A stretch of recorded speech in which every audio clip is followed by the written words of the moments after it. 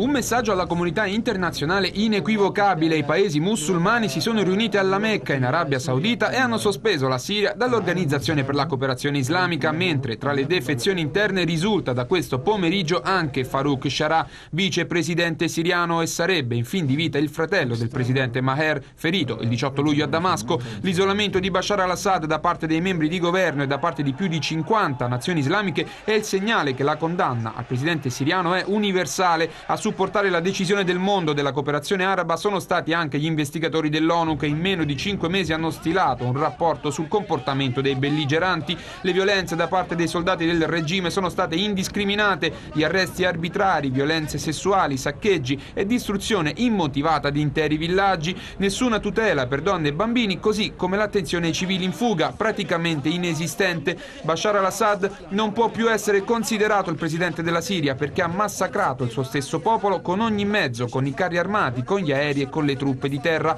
Per l'ONU, che ha fatto sapere che la missione di monitoraggio non verrà rinnovata, anche i ribelli avrebbero avuto un comportamento simile, ma senza raggiungere quella gravità. Un miliardo e mezzo di fedeli musulmani si affianca così alle Nazioni Unite per chiedere a gran voce la fine delle ostilità e la possibilità di intervenire su due milioni e mezzo di civili. E un appello affinché si arrivi alla fine delle atrocità è stato lanciato anche dall'arcivescovo cattolico greco Melchita di Aleppo, Jean Clement Jambard.